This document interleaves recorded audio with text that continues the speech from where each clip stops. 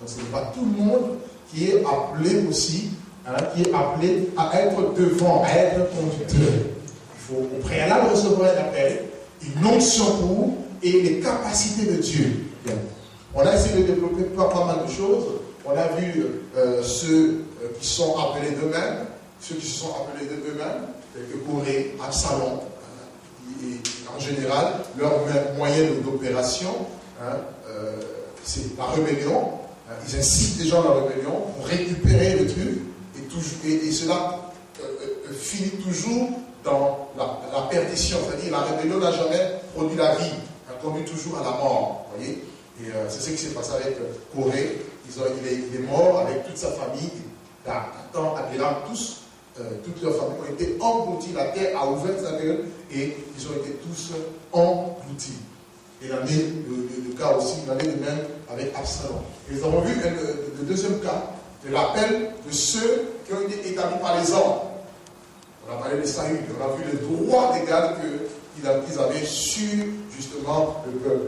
Et nous avons enfin parlé de ceux qui ont été établis par Dieu, comme David. Vous voyez Et Dieu dit dans, Jésus dit dans, dans Jean chapitre 15, on a vu le verset 16, il dit, ce n'est pas vous qui m'avez choisi, mais c'est moi qui vous ai choisi afin que vous alliez que vous portez du fruit et que vos fruits demeurent. Donc l'appel authentique vient de Dieu, trouve sa source en Dieu.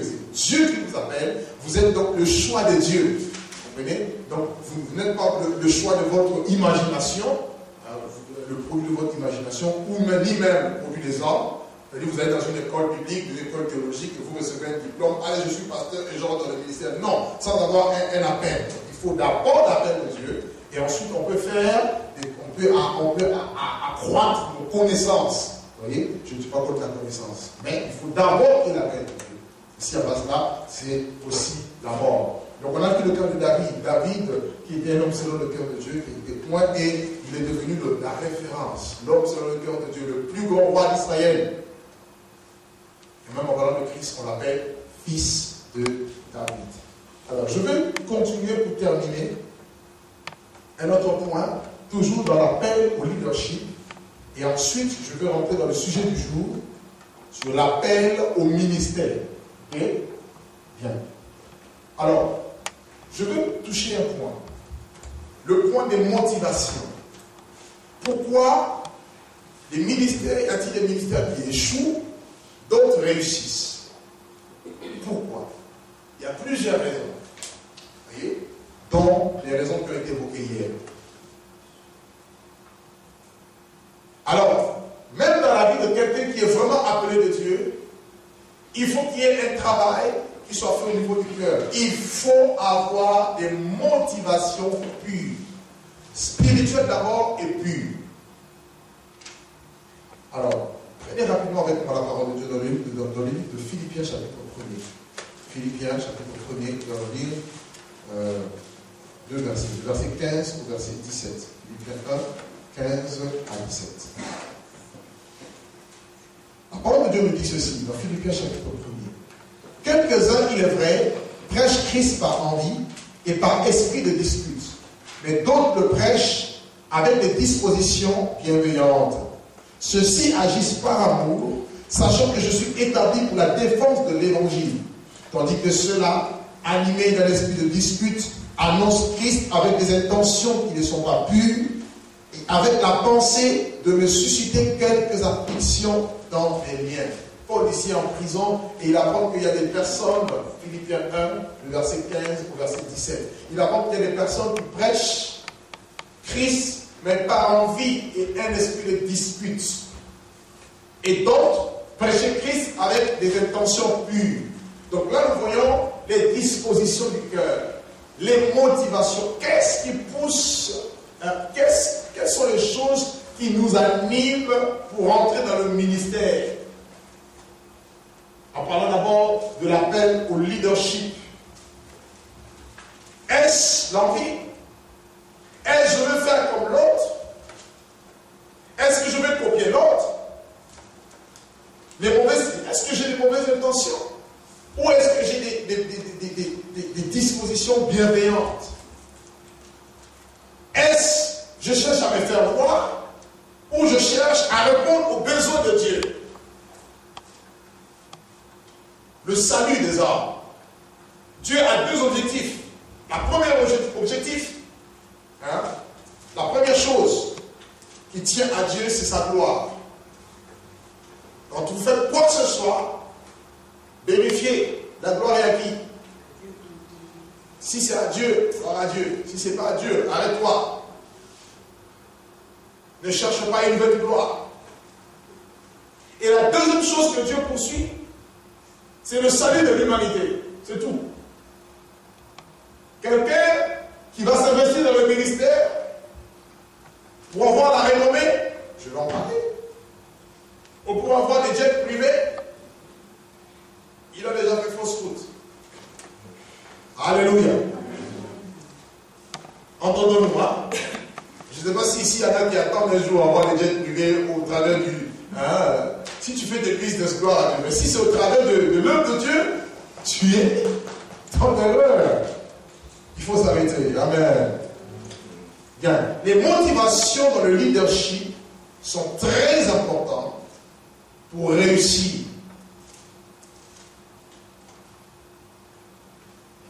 Les motivations dans le leadership, c'est très important pour réussir. Il faut avoir des motivations spirituelles d'abord et ensuite pures. L'œuvre de Dieu est spirituelle. Elle n'est pas charnelle, ni matérielle. La chair et le sang ne peuvent hériter du royaume des cieux, a dit Paul. Paul dit, si c'est dans cette vie seulement que vous espérez en Christ, vous êtes les plus malheureux de tous les hommes. Donc quand vous engagez dans l'œuvre de Dieu, vous êtes conscient que c'est une œuvre spirituelle. Or, quelque chose de spirituel, ce n'est pas quelque chose qui va s'arrêter. C'est quelque chose d'éternel. Est-ce que vous me suivez? Paul dit quoi? Les choses visibles sont passagères. Mais les choses spirituelles sont éternelles. D'où les motivations doivent être d'abord spirituelles et ensuite pures. Bien.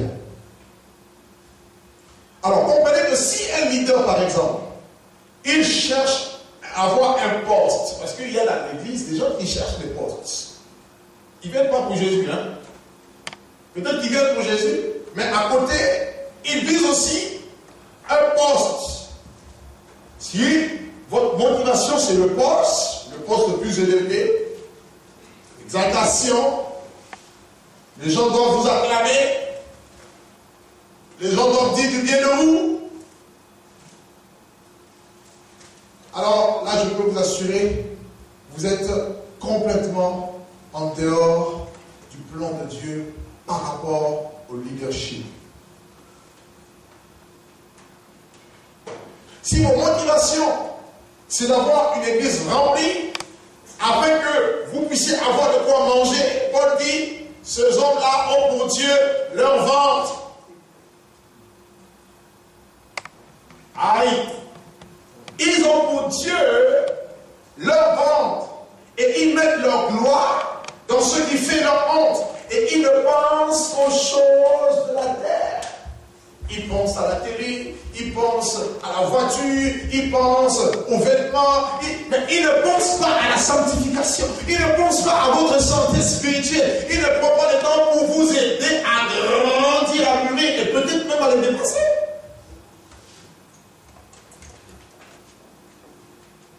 Philippiens chapitre 3, verset 18, 17 à 18, jusqu'à 19 là-bas, on le dit. Il marche en ennemi de la croix. La croix, c'est le sacrifice. Le leader va mourir. Jésus dit quoi? Dans Jean chapitre 12, le, à partir du verset 24, il dit quoi? Si le grain de blé qui tombe à terre meurt, il reste seul. Mais s'il meurt, il portera alors beaucoup de fruits. Donc quand on est à la position de leader, on doit mourir à soi-même. On doit mourir par rapport à nos besoins. Nous sommes humains, nous avons des besoins certes. Mais comprenez que nous n'allons pas utiliser l'œuvre de Dieu pour assouvir nos besoins. Et si Dieu nous bénit, gloire à Dieu. Dieu est un père, il ne va pas te laisser comme ça, il va te bénir. Mais toi, ta motivation ne doit pas être le matériel. Est-ce que je me fais entendre? Philippiens chapitre 4. Prenez encore la parole de Dieu avec moi. Regardez ce que Paul dit ici. Philippiens chapitre 4. Où il parle, il se vit dans l'abondance, il se vit dans la disette. À partir du verset 17, regardez ce que Paul dit. Paul dit, ce n'est pas que je recherche vos dons, mais je cherche, je recherche le fruit qui abonde pour votre compte. Donc Paul ne servait pas Dieu pour recevoir les biens du peuple. En réalité, quand on est leader et quand on est dans le besoin, vous savez ce qu'il faut faire? La Bible dit, quoi? Ne vous inquiétez de rien, mais en tout, hein? Philippiens chapitre c'est Philippiens 4, non? Philippiens 4, verset 6. Gloire à Dieu. Je vois ça bien le verset là. Gloire à Dieu. Philippiens 4, 6 dit quoi? Ne vous inquiétez de rien, mais en toute chose, faites connaître vos besoins à Dieu par les prières de supplication avec des actions de grâce. Et la paix de Dieu qui surpasse toute intelligence gardera vos cœurs et vos pensées en Christ. Donc, moi, j'ai des besoins. Je peux me mettre à dire, bon, toi, tu as une entreprise. Il faut que tu me ramènes 2000 euros par mois. Toi, non. Je fléchis mes genoux devant Dieu. Je dis, Seigneur, je te présente mes besoins. Pourvois. Et comme Dieu, il passe par son corps qui il va mettre quelqu'un à cœur. Ah, j'ai eu à cœur de te donner ça. Donc, tu dis tu as eu cœur, moi j'ai dit, ah, merci Père. Parce que je sais que c'était la réponse. Alléluia. Est-ce que C'est comme ça que ça marche. C'est comme on dit, ce n'est pas vos dons que je recherche. Moi, je recherche quoi? Moi, ma prière de chaque jour, c'est que montre-moi leur appel. Montre-moi leur ministère. Montre-moi ce qui ne va pas. Et quand ça ne va pas, je vous prends, je vous corrige. Bien, bien comme il faut. Hein? Je ne vous humilie pas, mais je vous corrige avec amour. En vous corrigeant, je vous traîne vers le haut. Je vous casse toutes les choses qui peuvent être des freins, des blocages, qui peuvent vous nuire demain, pour que vous atteigniez la mesure, la stature parfaite de Christ. Parce que l'objectif, c'est que vous et moi, nous devenions comme Christ. Tu m'entends Soyez mes imitateurs comme moi-même j'imite Christ. Donc ça, c'est très important. Un autre point. Hein, nous sommes toujours en train de développer un peu les motivations. Et puis là, je vais parler des, bonnes motivations et en donnant des exemples et des mauvaises hein, motivations. Les mauvaises motivations vont empoisonner le travail des leader. Vous pouvez avoir un grand appel une grande onction, une grande vision. si vous n'avez pas de bonnes motivations, si vous n'avez pas un bon caractère, votre caractère va tout démolir en une seconde.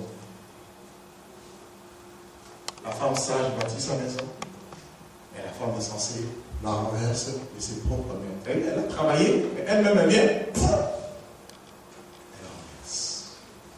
les motivations du cœur. Bien. Premier point dans les motivations. Premier grand point. Nous allons parler d'abord des mauvaises motivations. Les mauvaises motivations ou les mauvaises dispositions. Et je vais nous donner un peu quelques exemples. Prenez un peu avec moi dans Matthieu chapitre 23. Matthieu chapitre 23. Et ce passage nous parle plus des religieux, les pharisiens, les scribes, docteurs de la loi, tous ces religieux-là, les principaux sacrificateurs, qui connaissent la parole de Dieu. C'est pour cela ne soyez pas impressionnés par quelqu'un qui connaît la parole de Dieu. Ne soyez pas non plus impressionnés par quelqu'un qui a les dons, les dons spirituels. Oh, il a les dons, c'est gloire à Dieu. Mais soyez impressionnés par le cœur de Dieu. La connaissance, le diable là aussi. À la tentation de Jésus, qu'est-ce qu'il a utilisé? Il est écrit. C'est comme ça que les chrétiens se font avoir, nous tous. Dieu m'a permis d'écrire un livre sur la séduction dans les églises. Et j'en sors un autre qui va sortir dans le thème et la séduction spirituelle. J'essaie de développer comment le diable utilise la même Bible que vous et moi, mais pour nous séduire. Il est fort. Il ne faut pas dire, toi, diable, là, je t'écrase. Quand tu dis, c'est lui seulement pour toi, toi, tu m'écrases. C'est de prière. Hein. Ah, il sur la tête, il dit marchons, marchons. Et les chrétiens, ils sortent de ce qu'on dit. Non, frère. Le thème est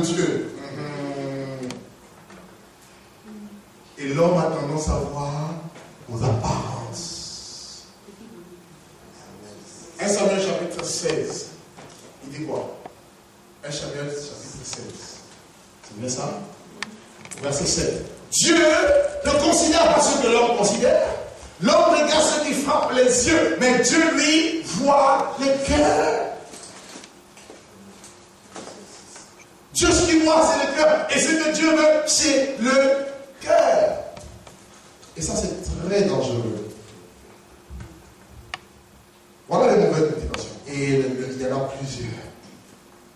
Ce sont des gens qui cherchent à dévorer les faibles. Ils sont constamment dans l'accusation. Ils aiment accuser.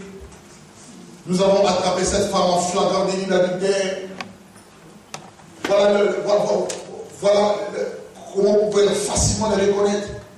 Ils sont là tout le temps à condamner les autres, tout le temps ils condamnent, ils condamnent. Dans Matthieu 16, le verset 1er, ils vont poser la question, une question à Jésus pour l'éprouver. Montre-nous un signe venant du ciel.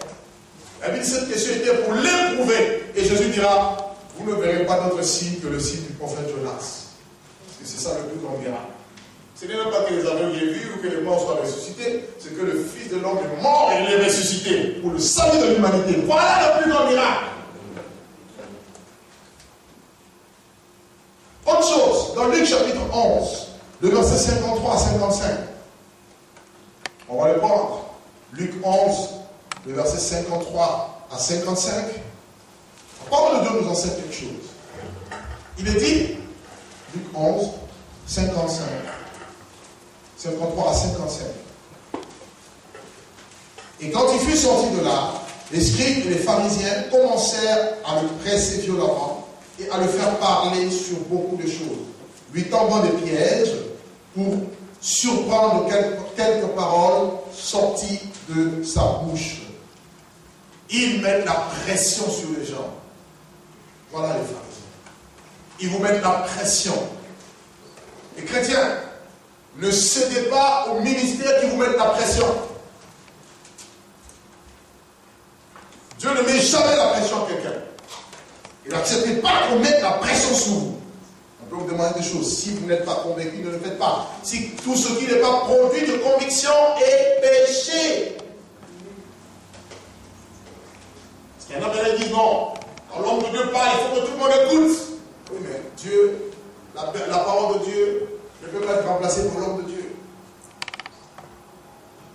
Amen. Personnellement, quand, je peux demander quelque chose à quelqu'un, vraiment c'est c'est l'œuvre de Dieu. Quand une personne me dit, je ne sens pas, quand bien même je sais que ça vient de Dieu, je ne force pas. Je laisse à Dieu le soin de convaincre la personne.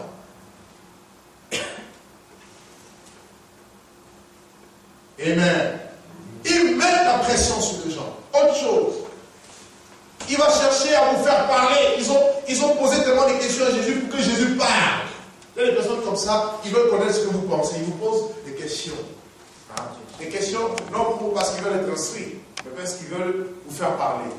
Et quand vous allez parler, vous risquez de, hein, dire des paroles de travers, et ils vous surprennent et ils vous accusent. C'était ça. Il vient voir Jésus un jour. Maître, dis-nous un peu. Doit-on payer l'impôt à César ou pas? Jésus regarde, il dit Regarde-moi le César, sais. Il dit Donnez-moi une pièce. L'inscription est réfugiée, c'est le dit. César. Alors rendez à César ce qu'il y a à César. Et à Dieu ce qu'il y a à Dieu. Pourquoi vous voulez, les palabres Pourquoi?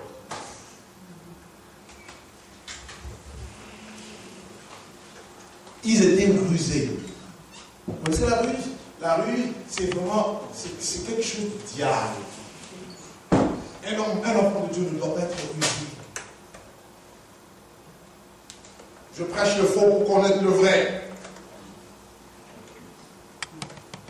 Là, c'est le monde, hein Et ça se retrouve là aussi. Et ils vont tendre de piège à Jésus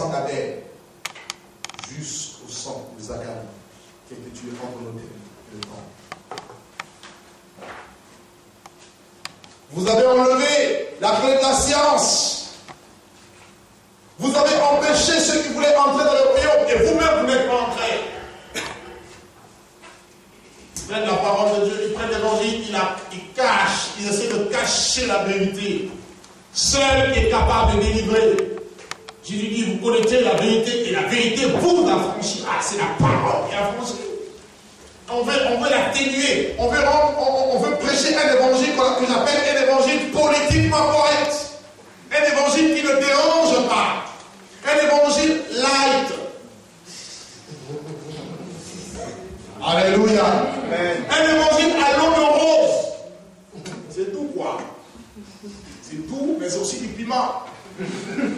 Parce que quand on prend la répandance, c'est pas nous. Alléluia. Ah oui. Jean-Baptiste me dit, Hérode, il ne t'est pas permis de prendre la femme de ton frère.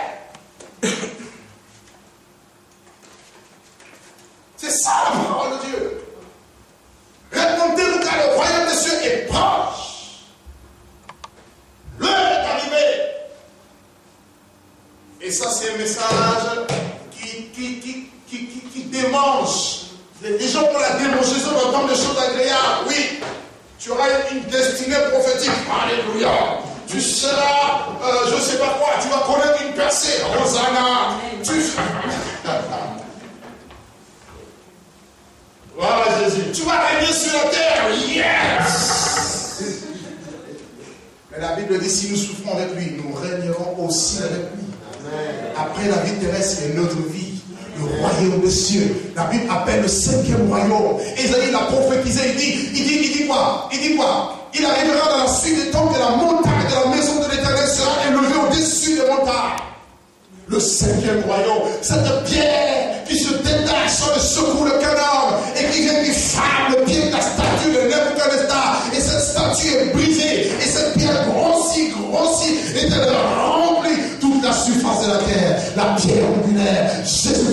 alléluia. A dit Jésus est la pierre que, alléluia, qu'on rejetait ceux qui bâtissaient, mais qui est devenue la principale de l'angle.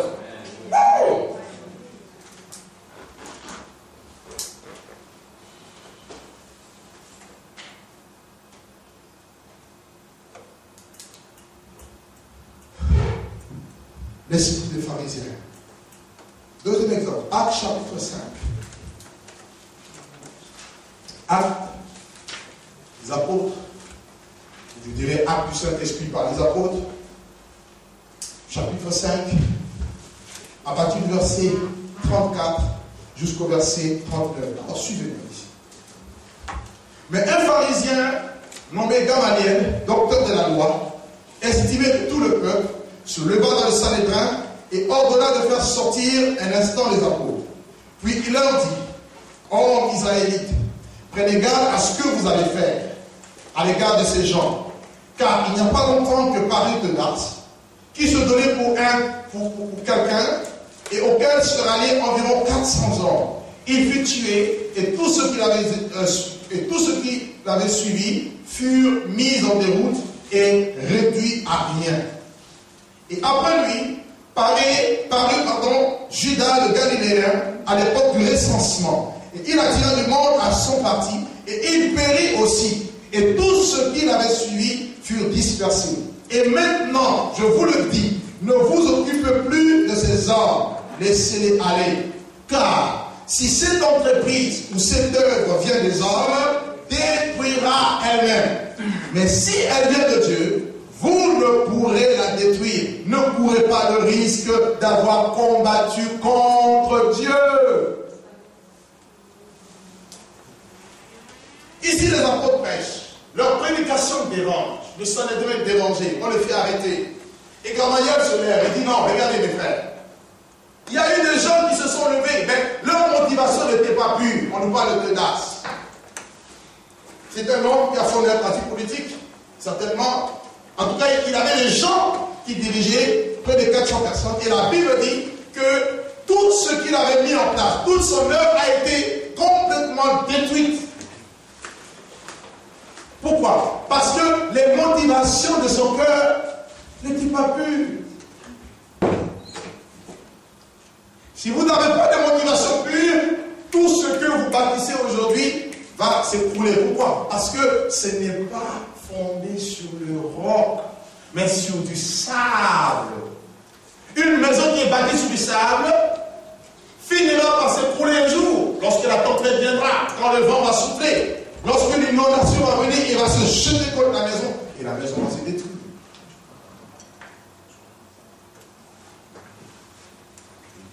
Une personne, Judas le Galiléen, pareil, la même chose. Pourquoi? Parce que leur entreprise ou leur œuvre venait des hommes et non de Dieu. Les motivations n'étaient pas pures. Qu'est-ce qui te motive dans ce que tu fais? Qu'est-ce qui te motive dans ce que tu fais? Qu'est-ce qui me motive moi? C'est une question à laquelle chacun doit être capable de répondre. Teuda a voulu, a voulu pardon, se donner un rôle important. Et tout s'est arrêté. Judas, pareil, il a voulu attirer du monde. Il y en a qui font les vices pour attirer du monde. C'est pas ce que Jésus a dit. Jésus a dit, allez, faites des nations des disciples. Et non de rêver du monde. Faisons la part des choses. Si ceux qui viennent, au bout d'un certain temps, deviennent des disciples, gloire à Dieu. Mais ma joie, je ne suis pas en joie si je vois la salle remplie. Et si c'est rempli de sorciers Alléluia. C'est aussi une réalité, une euh, supposition. Mais la Bible dit que le Saint-Esprit a ajouté chaque jour à l'Église ceux qui étaient sauvés. Et je prie que Dieu ajoute à l'Église ceux qui sont sauvés. Il faut que vous soyez des disciples. Car le disciple n'est pas plus que le maître, mais tout disciple accompli sera comme le maître. Amen. Amen. Des hommes et des femmes qui cherchent à agir comme Jésus. Pas des gens qui viennent juste pour figurer remplir le banc et puis partir ensuite. Comment ça s'est passé? La prière. Ah là là, tu as raté. C'était magnifique. Qui appréciait L'homme de Dieu était là. Il a prêché sur quoi? C'était puissant. Ah, le diable avait déjà tout volé là, là. La fois, on devait partir avec. Et derrière les chrétiens, souvent c'est comme ça. Qu'est-ce qui avait été dit Ah non, il fallait être là. Dit, ok, je n'étais pas là, mais raconte-moi un peu. Non, non, non, non. C'était fort. Voilà Jésus. Alléluia. Nos motivations. Une entreprise qui vient des hommes se détruira elle-même. C'est pour ça, vous voyez, l'entreprise de Corée a été détruite. Et l'entreprise de Saïd aussi a été détruite. Mais une œuvre que Dieu bâtit ne pourra jamais se détruire. Philippiens 1, 6. Paul dit, dans Philippiens chapitre 1, le verset 6, il dit, je suis persuadé que celui qui a commencé en vous cette bonne œuvre la rendra parfaite. Jésus n'est plus, Jésus était mort, il est parti. L'œuvre continue. Amen. Les apôtres de Jésus sont morts, mais nous sommes le fruit de l'Amen. Je mourrai. Il faut que l'œuvre de Dieu continue. À ton tour aussi, tu mourras. Il faut que tu laisses des empreintes pour que l'œuvre de Dieu continue. Amen. Tel est le plan de Dieu? Personne ne peut détruire l'œuvre de Dieu. Pourquoi? Parce que Dieu en est la source et l'auteur. Dieu en est la source et il en est l'auteur. Combattre l'œuvre de Dieu, c'est combattre Dieu lui-même. Vous comprenez pourquoi quand Saül, plutôt Saul de Tarse, il persécutait l'Église, quand Jésus est apparu, Jésus n'a pas dit Saul, Saul, pourquoi persécutes-tu l'Église? Il dit pourquoi me persécutes-tu? Parce que Jésus s'identifie à son Église parce qu'il est la tête de l'Église. Vous ne pouvez pas dissocier la tête du corps. Donc si aujourd'hui je me mets à combattre quelqu'un qui est un enfant de Dieu, n'importe lequel, je combats Dieu. Amen. Amen. On peut peut-être combattre Dieu sans le savoir. Faisons attention. Que le nom du Seigneur soit béni. Donc, avec tous ces exemples, vous voyez un peu hein, les mauvaises dispositions qui peuvent animer les leaders et qui les conduisent donc à l'échec. Leur œuvre ne tient pas. Vous savez, quand euh, vous avez été fidèle avec Dieu, même quand vous mourrez, la Bible dit que la mémoire de juste demeure éternellement. Quand vous avez été juste, votre mémoire s'est gardée. On parlera même de vous dans les générations futures. Et regardez l'acte que Marie avait posé. Marie est venue, cette femme était prostituée, elle a, elle a, elle a, elle, a l'huile sur la tête de Jésus. Elle a pleuré, elle a nettoyé le pied de Jésus avec, avec ses larmes. Jésus dira partout où l'évangile sera prêché, on parlera aussi de cette femme.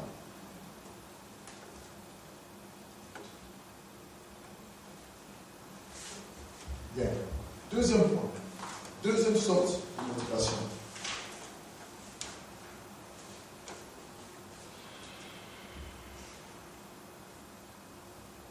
Je dirais plutôt quelques caractéristiques, avant de continuer, quelques caractéristiques des mauvaises hein, dispositions ou de mauvaises motivations. Comment savoir si j'ai des motivations pures ou pas? Comment reconnaître ces choses? 1. La recherche de la gloire d'un ministère. Quand tu cherches la gloire, tes motivations sont impures.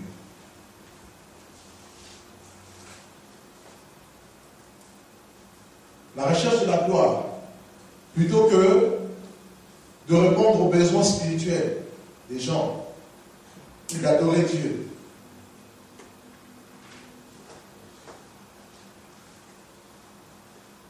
Ça conduit, en fait, ça reflète les mauvaises motivations que tu as dans le ministère. Tout de suite, tu rentres dans le ministère, tu veux, tu veux tout. Tu veux, tu veux être l'évangéliste interplanétaire tout de suite. Alors que, je vous parlais de la formation, quand même Dieu vous dit que tu dois vous utiliser dans un niveau terrible, il va commencer dans un, dans un petit niveau. Tu n'es même pas encore l'évangéliste le plus célèbre de ton quartier. Alléluia.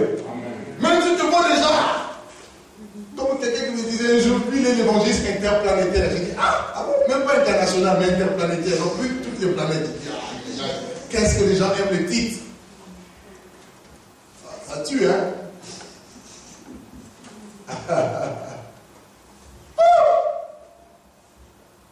Parce que la personne veut la gloire. Alors la fille, vous allez voir. Nous allons appeler le révérend Bishop. Nous allons appeler euh, euh, l'aigle royal. La personne, quand elle parle, même le dragon tremble. Il crache le feu plus que le dragon. Ah, là-bas, c'est terrible. Tu dis, mais Jésus de Nazareth. L'homme du siècle, l'homme du moment, la personne qui a le rêve de Dieu.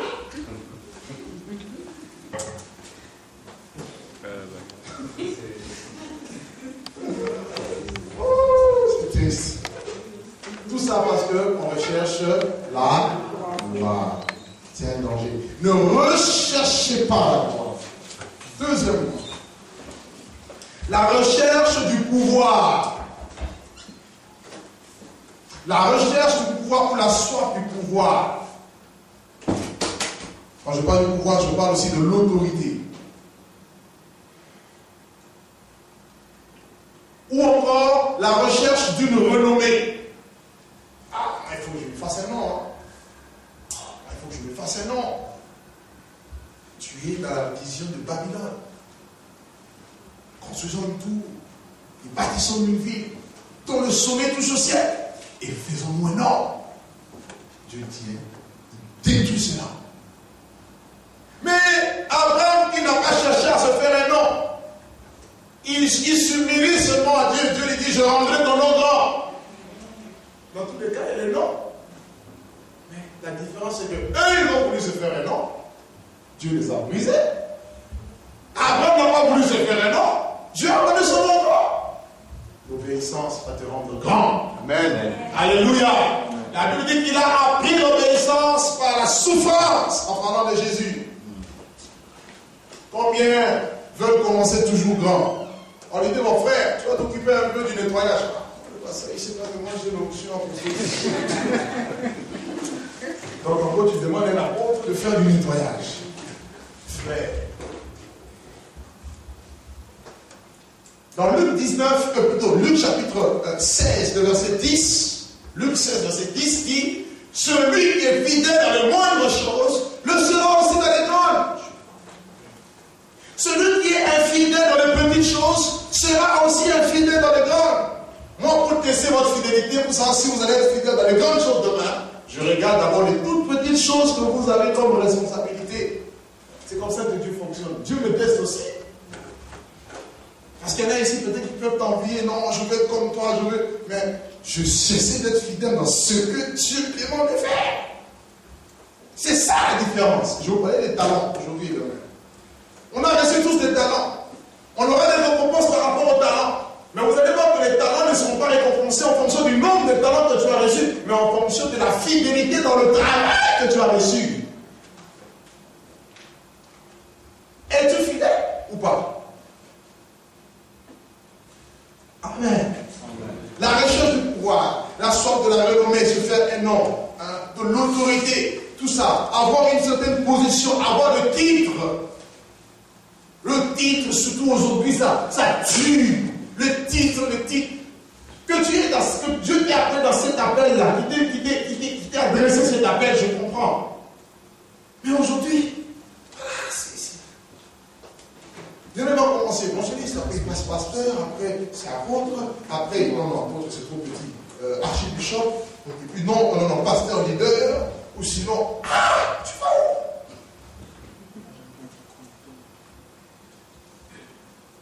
Général, Colonel.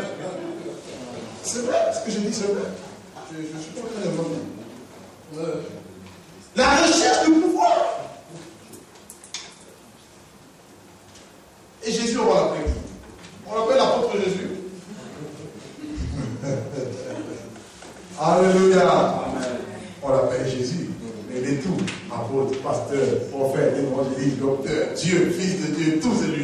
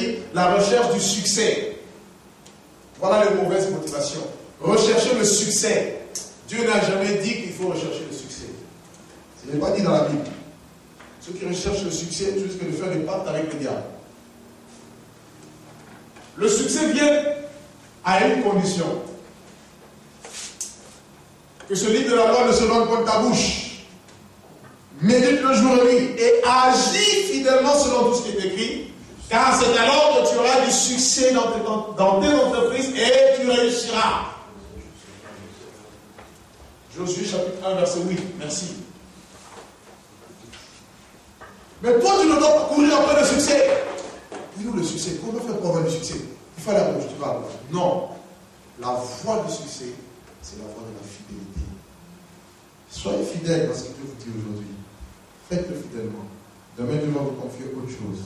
C'est comme ça qu'il nous amène d'étape en étape et de gloire en gloire. Et quand le succès va arriver, vous allez même pas voir comme que le succès est déjà arrivé. Attention, le succès peut aussi vous tuer. Vous allez presque penser que c'est par votre propre force. Non, sans moi, l'œuvre n'existe pas. Ah bon? Sans toi, donc ce n'est plus Jésus, c'est toi. Alors qu'est-ce qu'il fait? Il se retire un peu. Et tu vas te rendre compte que s'il n'est pas là, tout s'écroule. C'est pour cela même ici, je dis, il ne faut pas que vous vous approchiez à moi. Dangereux, éprouvez pour moi. Soyez attachés à Jésus. Parce que si Jésus me dit, écoute, ta, mission est finie, tu pars. Il ne faut pas que quand je suis là, tout le monde est motivé. Je ne suis pas là, tout le monde. Euh, ben le temps. De toute façon, n'est pas là. non, mais je dis, vous pouvez rire, c'est des choses qui sont vraies que je dis. Hein. Je le parle aussi bien par expérience. Vous allez blesser le cœur de Dieu. Est-ce que vous me suivez? Est-ce que tout le monde me suit? Nous sommes dans une école de ministère. Et c'est les bonnes bases qui doivent être posées. Amen. Le fondement, c'est Christ. Amen.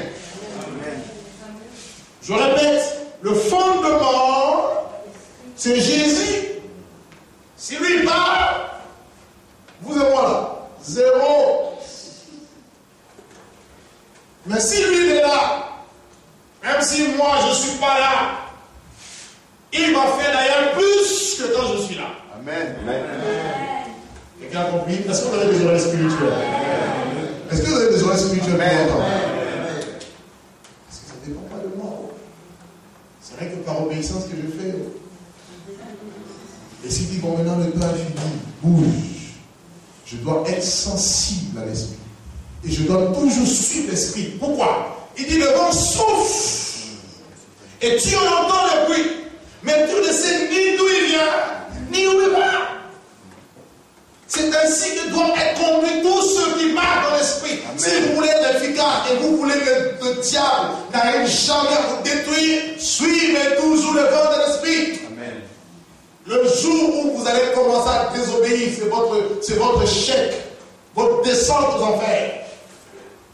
Mais tant que vous suivrez la voie de l'esprit, je vous dis la vérité, rien ne pourra vous arriver.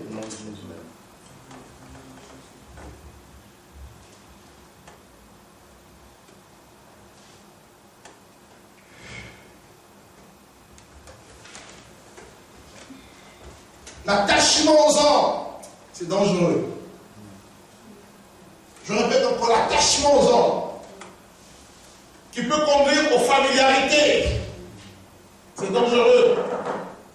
Les habitudes qu'on peut avoir, ça semble dangereux à quelque niveau que ce soit. Je disais à quelques personnes, je disais, euh, vous savez, parce que quand on s'habitue beaucoup, on risque d'oublier Dieu a donné certaines personnes qui ont une certaine perception des choses spirituelles. Je ne veux pas me vanter, il me parlait de moi. Mais je vois, je vois certaines personnes qui essaient de tourner en rond parce qu'elles ne sont pas sensibles. Je disais à quelqu'un, il voulait prendre le temps pour tirer, pour prier, pour. Euh, il dit, oui, ça c'est bien. Mais l'esprit me dit, ce n'est pas le moment pour toi. Personne ne s'en Moi, je suis fidèle, je délivre le message, le reste, ne me regarde pas. Donc, vive la journée comme vous voulez. Vous êtes le seul responsable, je m'en parlais tout à l'heure, de vos talents. Mais vous vous aurez averti. Vous comprenez? Et moi, je trace ma route. J'ai tellement de. J'ai le programme du Seigneur. J'ai le programme de Dieu. Il me le communique. Donc, je n'ai pas de temps à perdre. J'aime les gens, mais je ne serai pas retardé par quelqu'un. Alors, ça, jamais. Vous comprenez ce que je veux dire? Donc, il faut être tellement sensible. Il y a des choses de fond, on peut parler comme ça. Il y en a qui peuvent prendre ça à la légère, parce que, oh, peut-être, amis, c'est quoi j'ai dit tout à l'heure? C'est un peu dangereux. Vous comprenez pourquoi Jésus, des fois, il s'est retiré de la foule pour être seulement avec le Père. On le cherche, on ne sait même pas où est. Parce que trop s'habituer avec lui, il peut dire des choses. Ça, c'est des dangers. Hein? Alléluia. Que le nom du Seigneur soit béni. On peut avancer? Est-ce qu'on peut avancer? Autre danger.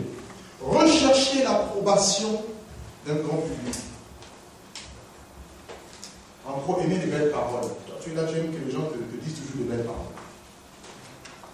Je peux te dire, tu es sur la voie de la chute. Pourquoi? Parce que un homme peut dire du bien de toi aujourd'hui et demain peut dire du mal de toi. Comment tu vas te sentir maintenant si la même personne qui t'a élevé hier, le lendemain, vient te descendre? Tu risques d'abandonner la foi. Donc ne recherche pas les belles paroles. Et je vous donne un conseil. Je répète encore. Aujourd'hui, fuyez les belles paroles.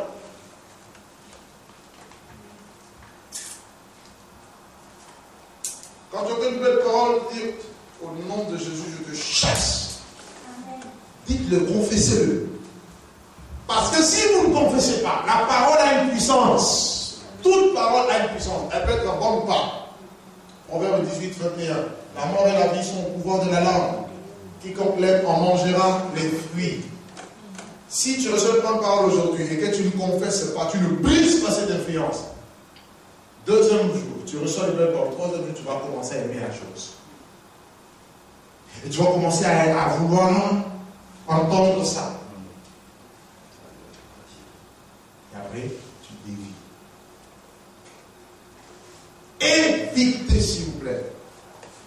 Et dans l'église, il ne faut pas qu'il y ait des gens qui, vous voyez, ce jour-là, Dieu a utilisé un frère. Ah non, vraiment, frère, aujourd'hui, tu sais, quand tu prêchais, je sentais euh, la, chair de poule, les, cheveux de ma tête se sont levés. Merci Seigneur si les cheveux se sont levés. Mais ce n'est pas ça le but. Parce que là, tu glorifies l'homme. Je préfère dire, je bénis Dieu parce que tu as été le canal par lequel Dieu m'a parlé. Ça oui. Mais je ne viens pas glorifier l'homme. Faisons attention, on risque d'avoir des veaux d'or cachés ici. On ne veut pas avoir de veaux d'or. Nous voulons un seul Seigneur, Jésus de Nazareth. Que tout le monde me suit Très important. Ni l'amour qui vous parle. Je ne veux pas des belles paroles.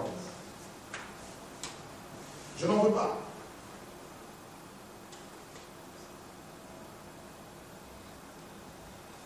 Je veux par contre l'approbation du ciel. Ah oui. Je veux que le ciel dise oui. Mon fils, je suis content de toi. Il dit Ah, Père, je fais du bon boulot. Aide-moi pour continuer. Parce que tout le monde peut te dire du bien. Mais si le ciel t'a rejeté, malheur à toi. C'est pour ça que je donne pour raison à Paul, dans 2 Corinthiens chapitre 10, verset 18, notez cela, 2 Corinthiens 10, 18, il dit, ce n'est pas celui qui se recommande lui-même qui est approuvé, mais c'est celui que Dieu recommande. Donc il faut se laisser être recommandé par Dieu. Il y, a des, il y a des ministères, quand ils vont dans une assemblée, ils vont dans, dans, des églises, ils veulent tout de suite que tout le monde sache qu'il est apôtre, qu'il est pasteur, pour qu'on le mette devant. Ça aussi, c'est l'orgueil. Quand tu vas à un endroit, Jésus dit, non, laisse les gens. On avait un frère ici, pour moi. ton frère, toi viens. Ah, ça oui. Mais si tu viens de moi, eh, eh, frère. Mais comment t'appeler frère dit, tu m'appelles frère, mais c'est pas je suis toi. Même si tu es moi, mais tu es aussi frère. Alléluia. Je, je, je, vous aussi ce qui se passe dans le milieu des pasteurs. Hein? Je connais ce milieu. Il y a un apôtre comme ça, il est parti, il voit bien. Il est parti en Martinique. Il dit, moi ici, il faut que tout le monde m'appelle apôtre. Les chrétiens ici, sont, ils sont, ils sont, ils sont rebelles. Ils ne veulent pas respecter l'autorité. Ils appellent les, apôtres frères. Ce n'est pas biblique. Il faut appeler apôtre. Les gens crient Amen. Et puis à la fin, les gens disent, que Dieu te bénisse, frère. Ça, c'est Dieu L'apôtre était aigri. Frère, la prédication était puissante. Jésus Nazareth.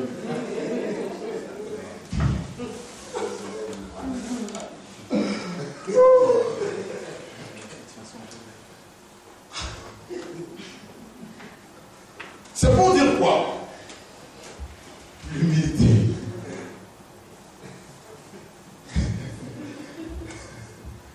ne pas rechercher l'approbation des hommes. Hmm? Paul dit dans Galate 1, 10, il dit, il dit, est-ce la faveur des hommes que je cherche ou celle de Dieu? Si je cherchais à plaire aux hommes, je ne serais plus serviteur de Dieu.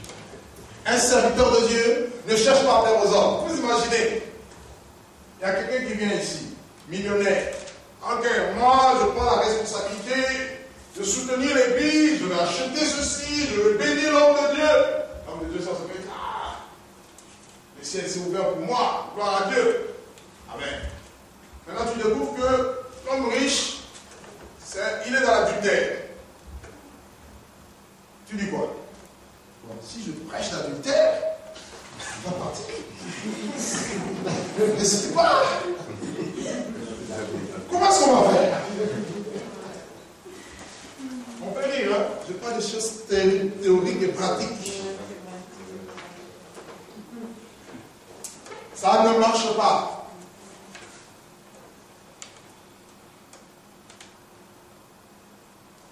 L'église pas de besoin, que ce soit au niveau des arbres, au niveau de ceci, de cela. Mais si Dieu me montre que là, ça ne va pas, il faut régler, je viendrai, je régler. Content, pas content, je vais être d'accord avec le maître. Et un serviteur de Dieu, une servante de Dieu, voilà ce que doit être sa ligne de conduite. Il ne doit pas être dans les sentiments humains. Il doit être dans la parole de Dieu. C'est-à-dire, même quand on va corriger, c'est toujours avec amour, je précise. Mais néanmoins, on corrige, néanmoins, on dit. Si Dieu me dit ici qu'il y a des gens qui sont adultères, je vous dirais, il y a l'adultère ici, répondez-vous. Que les rapports sexuels en dehors du mariage, c'est un péché. C'est pas moi qui l'ai écrit, hein? c'est la Bible qui l'a dit.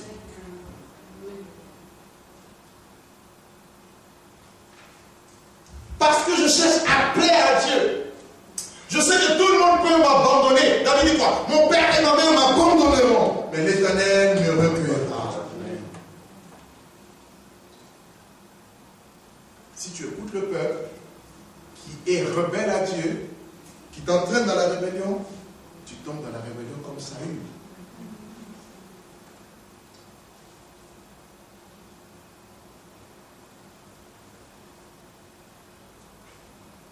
Dans notre civilisation aujourd'hui. La démocratie.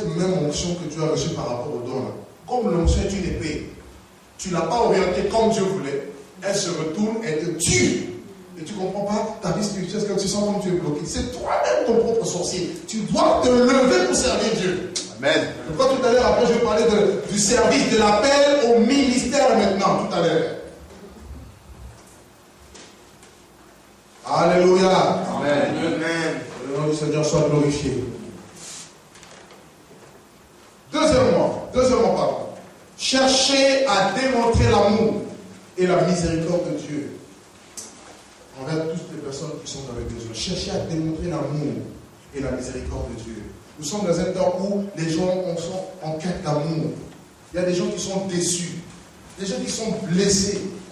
Et quand Dieu vous envoie ces personnes, vous les détruisez encore.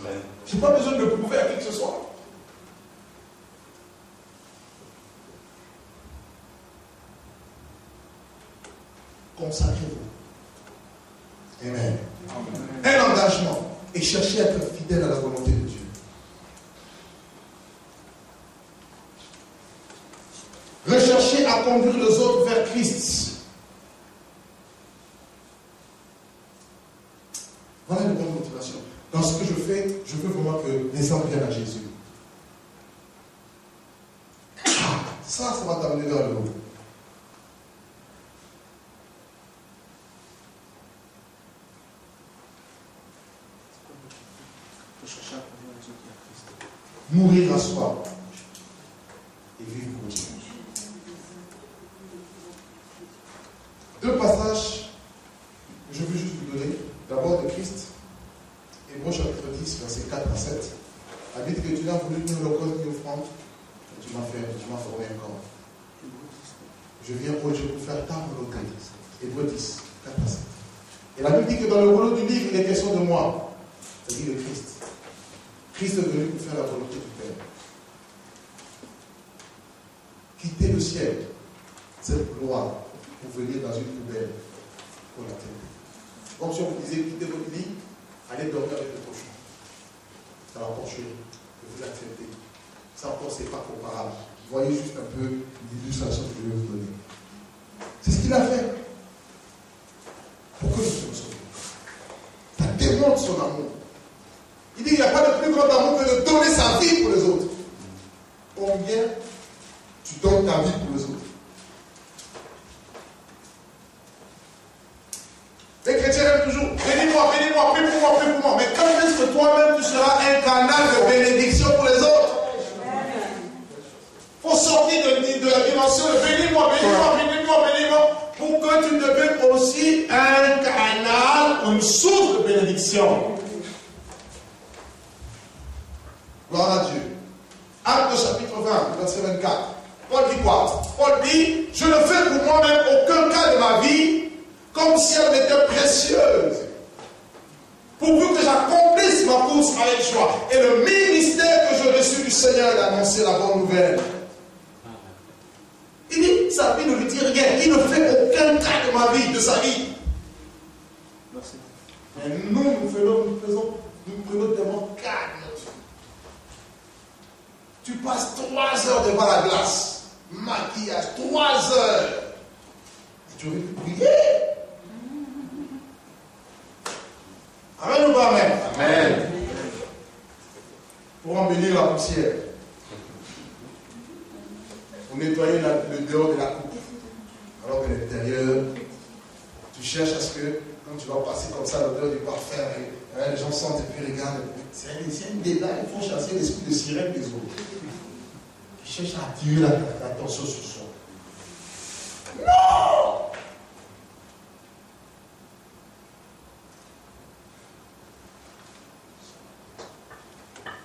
Pourvu que j'accomplisse ma course avec joie.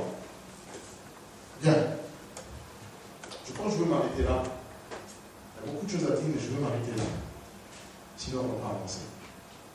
Et je vais rentrer dans le deuxième point. Deuxième leçon. Je vais nous parler de la première partie parce que je finirai demain, étant que c'est long. Je veux nous montrer demain les différents types d'appels que nous pouvons retrouver dans l'Église. Il y en a beaucoup. Et on va essayer de développer. Le temps et de développer. L'appel au ministère.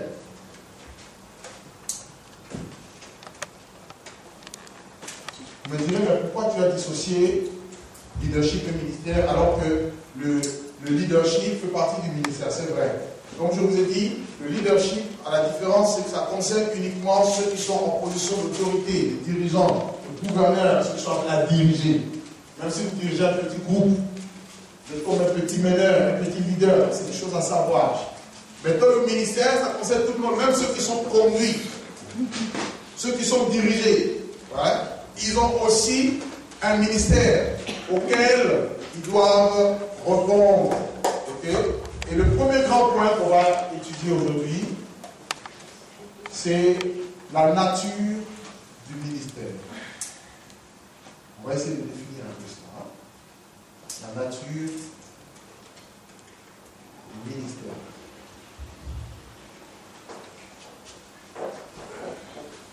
Est-ce que ça va jusque-là? Ça va bien?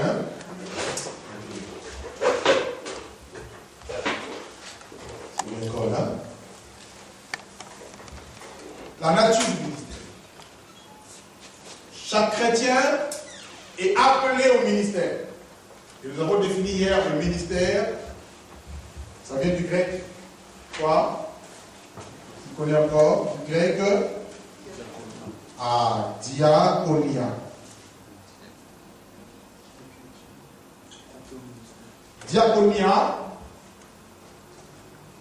c'est le mot grec du ministère qui signifie tout simplement service. Je vais essayer de à l'heure dans une définition beaucoup plus ajustée. Éphésiens chapitre 4, le verset 11 à 12. Éphésiens 4, verset 11 à 12. La Bible dit que il a établi les uns comme apôtres. Donc là, on parle du ministère du gouvernement, du leadership. Il a établi les uns comme apôtres, les autres comme prophètes, les autres comme évangélistes, les autres comme pasteurs et docteurs. Pour le perfectionnement des saints en vue de leur ministère. C'est-à-dire quoi? La première raison pour laquelle Dieu a établi le ministère dans le corps de Christ, c'est pour ajuster, réparer, canaliser les chrétiens en vue de l'œuvre du ministère. Ce qui signifie que chaque chrétien a un ministère et il a besoin d'être corrigé, recadré, redressé, construit, bâti, élevé pour l'aider à servir Dieu. Est-ce que vous me suivez? Donc vous et moi, nous sommes appelés au ministère. Donc quelqu'un, un chrétien qui va dire non, moi je n'ai pas de ministère, il est dans l'ignorance. Il faut lui dire non, il ne faut pas dire ça. Il faut dire tu as un ministère, peut-être que tu ne sais pas quel ministère tu as?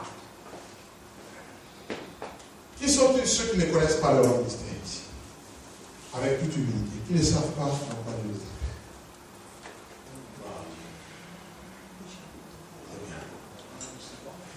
Alors, aujourd'hui et demain, vous allez peut-être avoir la réponse. Ok? Vous allez vous identifier peut-être quelque part. Le Saint-Esprit va nous aider. Perfectionner les saints, d'une part, en vue de l'œuvre du ministère, et de l'autre côté, édifier le corps du Christ. Donc, les cinq ministères, seuls, ont reçu l'onction pour le corps et même dans cette onction, il y a un ordre. Quel ordre? 1 Corinthiens 12, 28. Dit Dieu a établi dans l'Église, premièrement, les apôtres. Premièrement, qui donne en grec autant. Autant qui signifie principalement. Donc, le ministère apostolique, c'est un ministère principal. Pourquoi? Parce qu'il est fondateur. Il est bâtisseur. Il va du néant et la chose sort et la pousse.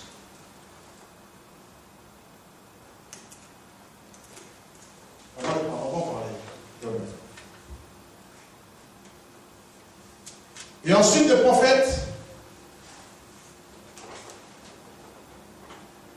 Et ensuite, les docteurs et ceux qui ont le don de guérison, etc.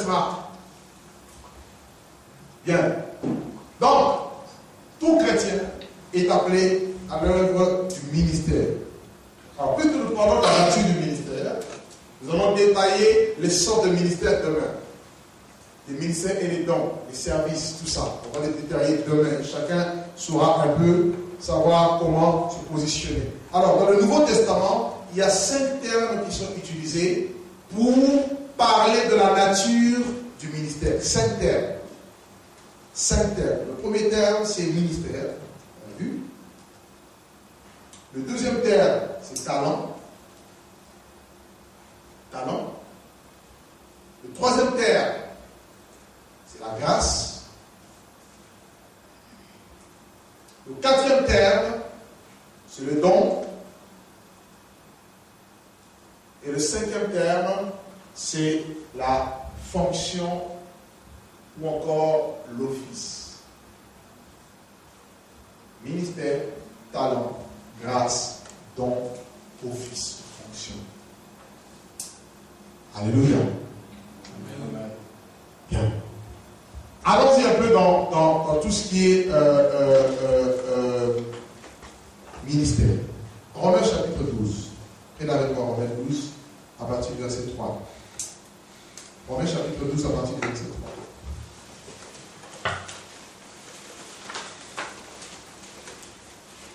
Ça, ça résume beaucoup de choses. Paul dit Par la grâce qui m'a été donnée, je dis à chacun de vous de ne pas avoir de lui-même une trop haute opinion de lui, mais de revêtir des sentiments modestes selon la mesure de la foi que Dieu a départie à chacun. Car comme nous avons plusieurs membres dans le seul corps, et que tous les membres n'ont pas la même fonction, ainsi nous qui sommes plusieurs, nous formons un seul corps en Christ, et nous sommes tous membres les uns des autres. Puisque nous avons des dons différents, vous voyez, il dit, selon la grâce qui nous a été accordée, que celui qui a le don de prophétie l'exerce en promotion de la foi, que celui qui est appelé au ministère s'attache à son ministère, que celui qui enseigne s'attache à, son enseignement, celui qui exhorte s'attache à l'exhortation, que celui qui donne le fasse avec libéralité, que celui qui préside le fasse avec zèle, que celui qui pratique la miséricorde le fasse avec joie. Donc là, vous allez voir plusieurs de ce que je viens de décrire là. Ces mots-là sont cités dans mon ministère, grâce, euh, talent, on n'a pas vraiment de talent ici, on va le mot talent, hein, aussi fonction. On dit que dans le corps, il y a plusieurs membres et tous les membres n'ont pas la même fonction.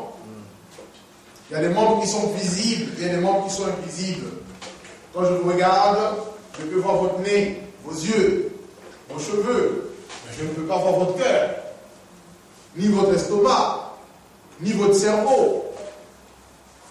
Donc il y a des parties qui sont visibles et des parties qui sont cachées. Et dans le corps du Christ, c'est pareil. Il y a des gens qui, vont avoir euh, un don ou des ministères pour être visibles, comme public, d'autres non. Attention, c'est souvent ce qui est caché qui est le plus important. Ou bien, on peut vous couper la main, vous allez vivre si on vous arrache le cœur, vous vivez. Est-ce que vous avez compris?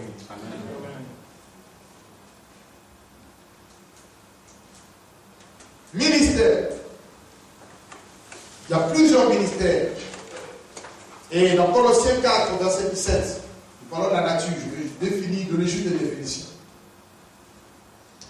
Colossiens chapitre 4, verset 17. Il dit quoi? Dites à Archip de prendre garde au ministère qu'il a reçu de Dieu, afin de bien le remplir. Le ministère, c'est un service. Si vous êtes appelé à un service, il faut bien remplir le service.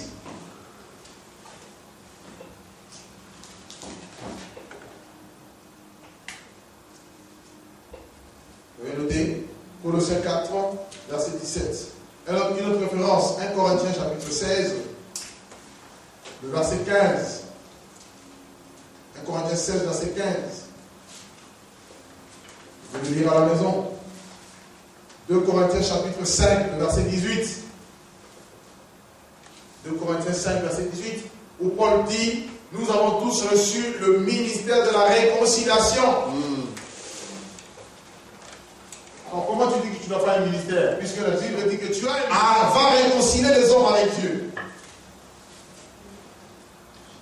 Ça, nous l'avons tous reçu Autre chose.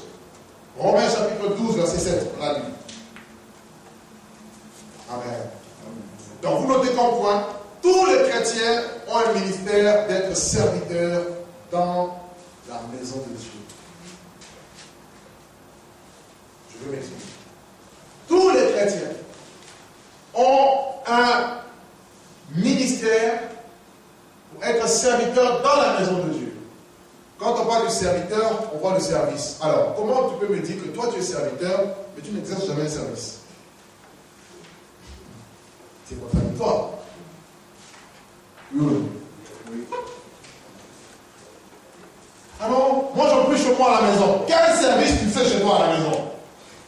Auprès de qui Voilà comment le diable arrive à nous détruire. Puisque là, je vous sers. Si vous n'étiez pas là, admettez que vous n'étiez pas là, j'avais que des chaises seules. Alléluia. Écoutez-moi. Je dis quoi Chaise Non, répondez-moi. Donc, je ne peux exercer mon service que je fais actuellement parce que vous êtes là. Comprenez? Et c'est dans la maison de Dieu. Quand je parle de la maison de Dieu, je vois l'église. 1 Timothée chapitre 3, verset 15 dit quoi? Paul dit à Timothée, si je t'ai tu sauras comment tu dois te comporter dans la maison de Dieu qui est l'église du Dieu vivant, la colonne et l'appui de la vérité. L'église, c'est la maison de Dieu. Vous et moi, nous sommes la maison de Dieu, le temple de Dieu. Et l'Esprit de Dieu habite en nous. Donc le ministère, c'est en faveur des autres. Amen.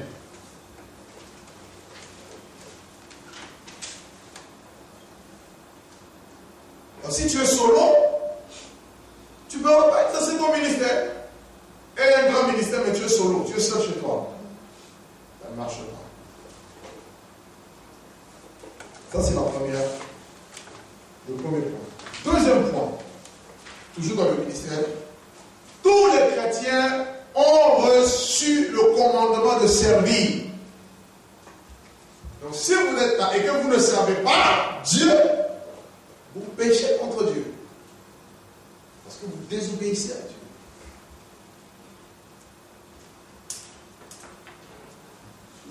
Ah, quelqu'un dira, mais qu'est-ce qu'il me raconte là? Parce que le ministère n'a rien à voir avec la prédication.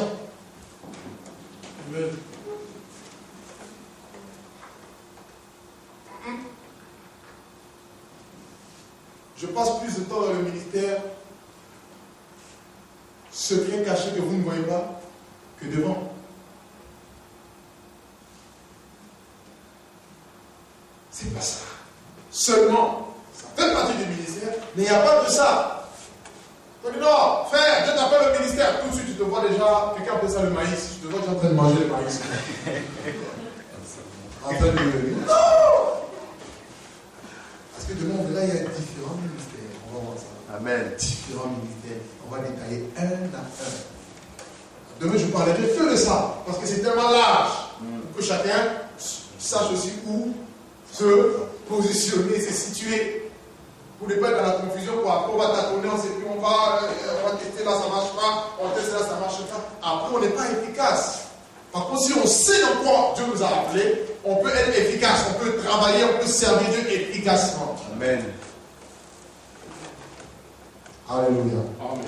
Deuxième terme utilisé, c'est le talent. Talent. On a vu le ministère, et là, on va parler du talent. Le talent vient du grec, et dans, le grec, il a le sens de porter un poids. Quand on voit talent, on voit le sens, hein, je parle bien du sens. Je ne définis pas mot en mot, je parle du sens. De porter un poids, ou encore, le terme-là fait référence à ce qui est pesé. Porter un poids ou faire référence à ce qui est pesé.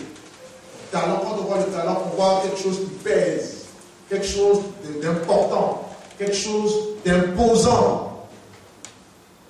Vous verrez les talents, il y avait des signes, il y avait, plusieurs types de monnaies. Mais quand on parlait des talents, c'est-à-dire c'était la forte somme, ou je dirais la grosse quantité de pièces de métal qu'on pouvait avoir à sa disposition. C'est pour dire que quand Dieu vous donne des talents, c'est-à-dire que c'est comme si Dieu a misé sur vous. Dieu a investi sur vous. Toute personne qui investit atteint un rendement. Oui ou non? C'est pour ça que vous verrez que dans Matthieu euh, 25, à partir du verset 11 à 14, là-bas, je pense, à partir du verset 14, je pense, oui, je crois, on nous parle de 14 à 30, on nous parle de talent, la parabole de talent.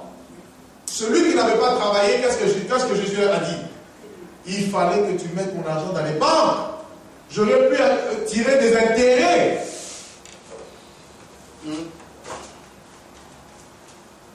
Est-ce que vous suivez? Amen. Vous avez des talents. Et le mot talent donne, en définition bien sûr, une grande aptitude. Donc Dieu voit acte, une grande aptitude. Il vous donne une certaine aptitude pour accomplir quelque chose. Je vais m'expliquer. Je crois déjà, je vais juste m'appuyer sur deux exemples. Simple. Dieu appelle Moïse. Moïse dans le désert, Dieu lui donne une vision. Exode 25. Moïse, tu dois me construire un tabernacle. Tu dois me faire un sanctuaire. Moïse reçoit le plan. Comme un architecte. Il a le plan. Attendez, attendez. Est-ce que c'est l'architecte qui pose le fondement? C'est l'architecte qui met les, tuyaux, l'électricité, tout ça. L'architecte, il a tout le plan. Il sait qu'il faut que le tuyau passe là, il faut ça, il faut que ça, il faut que ça. Il a le plan global. Vous avez vu Moïse euh, euh, faire ça, couper le bois pour. Euh, mais c'est lui qui a reçu la vision. Mais Dieu va maintenant, parce que celui qui donne la vision et la provision, et dans la provision, vous avez ce qu'on appelle les ressources humaines. Dieu va mettre des personnes capables pour accomplir cette vision autour de vous. Parce que si cette vision vient de lui, il va vous donner des personnes capables pour accomplir cette vision qui est de lui et non de vous. C'est pour ça verrez dans l'Exode 30, par exemple. Alors, du verset premier, le pas de Bethléem, qui avait reçu l'onction pour faire tout ce qui était artistique.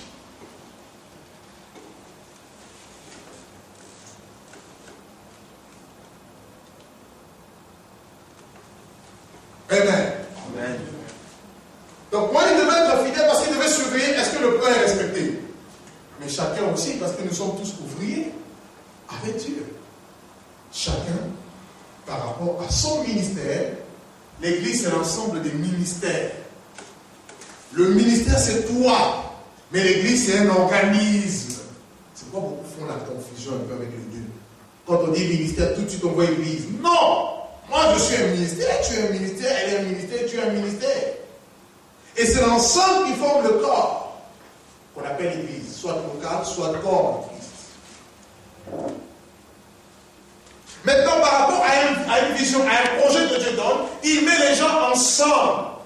Il sait que là, il y aura besoin d'un peintre. Là, il y aura besoin d'un maçon. Là, il y aura besoin d'un charpentier. Là, il y aura besoin de ceci. Il met ces personnes ensemble et l'édifice, dans l'unité, s'élève. Et Dieu est glorifié. Maintenant, si toi, tu as tel don, non, moi, je ne veux pas servir, je reste chez moi. Toi, tu as tel don, non, moi, je ne veux pas servir, je reste chez moi. Toi, tu as tel don, l'œuvre fait quoi? L'œuvre est détruite. Et Dieu vous demandera de quoi? Parce qu'il dit quoi? Si quelqu'un détruit l'œuvre de Dieu, Dieu le détruira. C'est pour cela que les chrétiens doivent être conscients qu'il est une pierre vivante. Amen. Et vous-même, comme des pierres vivantes, édifiez-vous pour former un saint sacerdoce. Afin d'offrir des victimes spirituelles à Dieu. C'est ce que la Bible enseigne.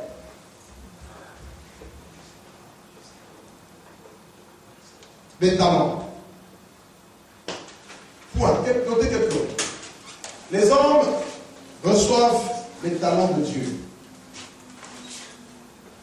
Et c'est à différents degrés. Tous les talents que vous avez, ça ne vient pas de vous. Qu'as-tu que tu n'as reçu 1 Corinthiens 4 dit. Nous recevons les dons, nous recevons les, plutôt les talents, parce que là je parle de ces talents. Les grandes aptitudes que vous avez, ça ne vient pas de vous. Ça vient de Dieu. Et comme ça vient de Dieu, vous rendez un jour de compte à ce Dieu-là. Amen. C'est pour ça que je dis, au, lieu que les chrétiens aillent dans une église pour être inutiles, il serait préférable qu'ils cherchent d'abord la volonté de Dieu pour savoir est-ce que c'est leur place. Ah oui, oui, oui, oui, ça, je suis, très, je suis très sérieux avec ça. Ne perdez pas votre temps parce que moi, je ne perds pas le temps. Je sais ce que je veux, je sais que Dieu m'a dit. Et je, je cours vers cela. Mais ne perdez pas votre temps inutilement. Sachez ce que vous voulez avec Dieu. C'est très important. Vous allez tourner en rond des années comme ça, vous allez perdre beaucoup de temps. Demandez d'abord l'orientation à Dieu. Et si Dieu vous positionne maintenant quelque part, Ça peut être ici comme ailleurs. Laissez-vous conduire par le Saint-Esprit, c'est lui qui doit vous diriger. Alors à partir de ce moment-là, recherchez maintenant le talent que Dieu vous a donné et soyez au service. Parce que si chaque église, par rapport à ce qu'elle fait, qu'elle a reçu de Dieu, travaille, on n'est pas divisé, même si on peut avoir des, des objectifs différents par rapport à un endroit, comme j'expliquais hier. Mais nous travaillons tous dans, un, dans une même vision globale, le royaume de Dieu. Amen. Est-ce que vous, vous, me suivez hein? Là, je parle vraiment de manière un peu générale et globale, qu'on ait une vision large.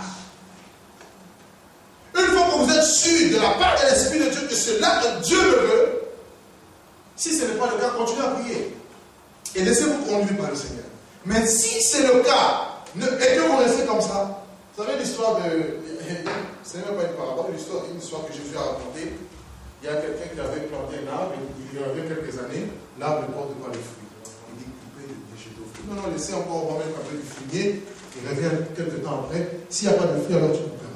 C'est ainsi qu'on va arracher les arbres inutiles. Est-ce que tu es utile ou tu es inutile? Quelqu'un qui est inutile, Dieu va l'arracher, il va le mettre au feu.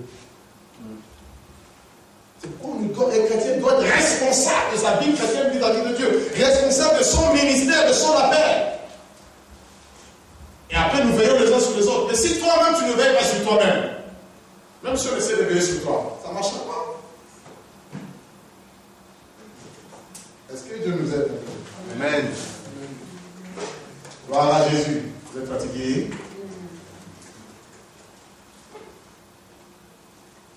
Deuxième point. Tout chrétien a reçu au moins un talent. Donc si tu penses que tu n'as pas de talent, tu te trompes. Tu as au moins un talent. D'autres en ont deux, d'autres trois, d'autres cinq, d'autres dix, peut-être vingt, si ce n'est plus. Chacun selon sa capacité.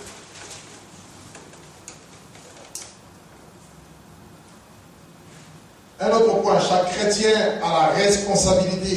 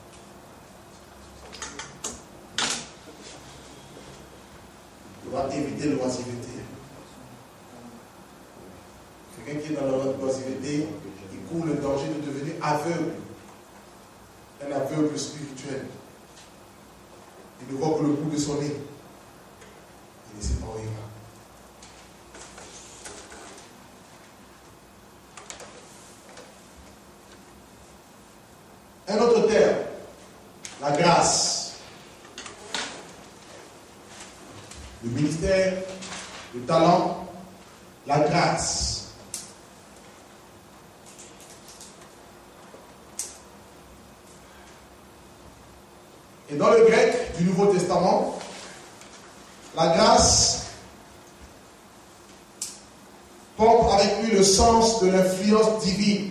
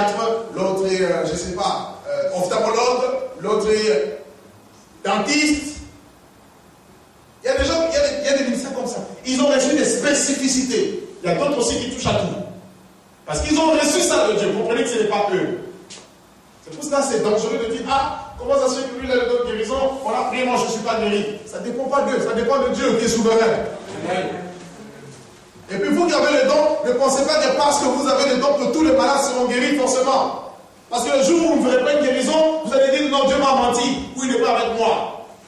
C'est des choses qu'il faut savoir.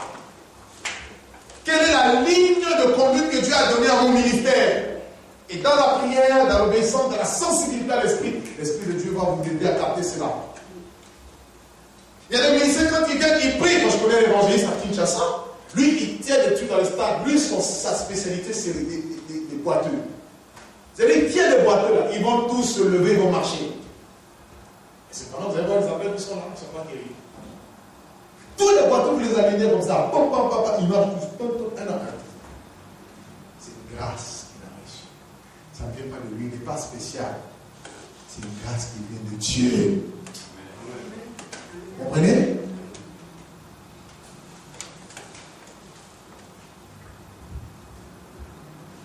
Oh, que le Seigneur soit glorifié.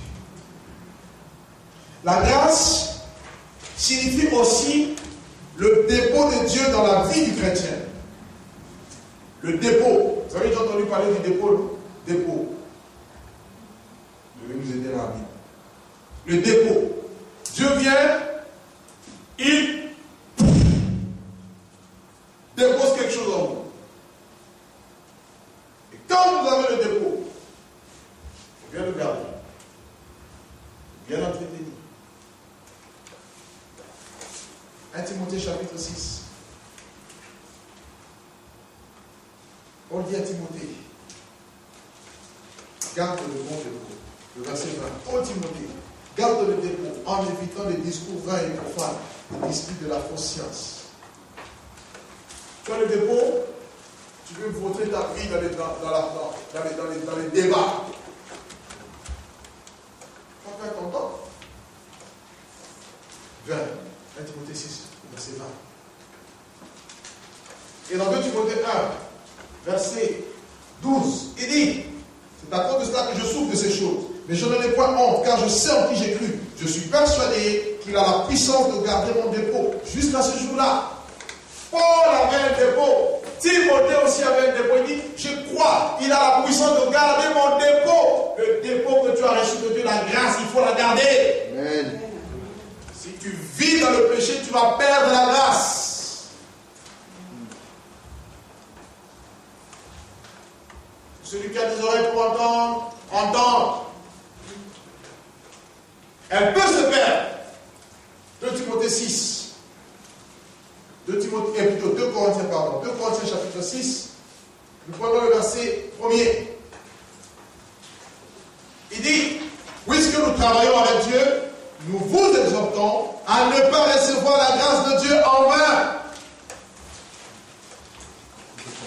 Vous y êtes 2 Timothée chapitre 6, euh, plutôt 2 Corinthiens, autant pour moi, chapitre 6, le verset 1er. Puisque nous travaillons avec Dieu, nous vous exhortons, nous vous encourageons. Ne prenez pas la grâce de Dieu en vain. Oh, combien je vois des personnes qui ont reçu la grâce de Dieu, mais qui vivent encore, qui vivent encore dans la débauche, dans l'alcool, dans le monde. Ils détruisent la grâce de Dieu dans leur vie.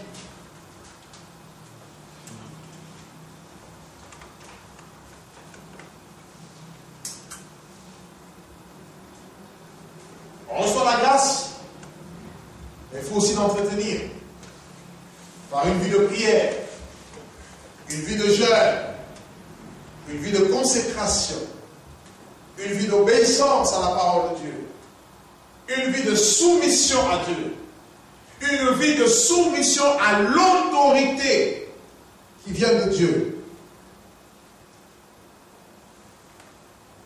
Et une vie d'obéissance de manière permanente. Par ordre de dépôt, c'est la Le dépôt, c'est la vie. Un ministère qui n'a plus de dépôt, un ministère mort.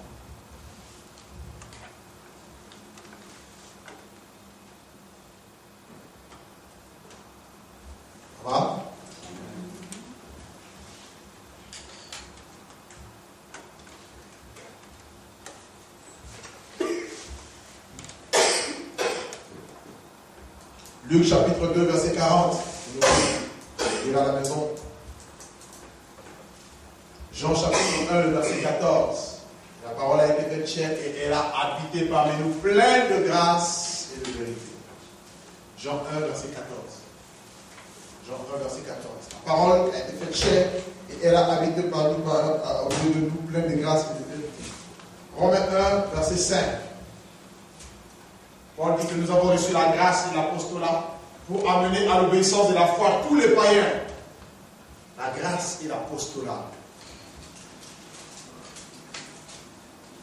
À un moment donné, Paul dira, vous savez, j'ai travaillé plus que tous. Non moi, la grâce. Ce qui peut se produire au milieu de nous, ou dans notre ministère, des choses qui peuvent décoller, aller vite, ce n'est pas parce qu'on soit meilleur ou qu'on sache bien parler ou qu'on soit je ne sais pas quoi ou qu'on prie plus que tout le monde, c'est la grâce de Dieu. Et cette grâce a besoin d'être soutenue, comme je disais, une vie de prière, d'obéissance à Dieu, de sanctification, de pureté, de sainteté. Vous vivez dans un péché, même caché, où vous dites que personne ne vous voit. Déjà, le petit péché que, vous, que vous entretenez tue déjà votre grâce. Et ça vous conduit à une forme de sécheresse spirituelle. Il n'y a plus la sève, il n'y a plus la vie. Ça, c'est dangereux pour quelqu'un, pour un, enfant de Dieu, un homme de Dieu, une femme de Dieu.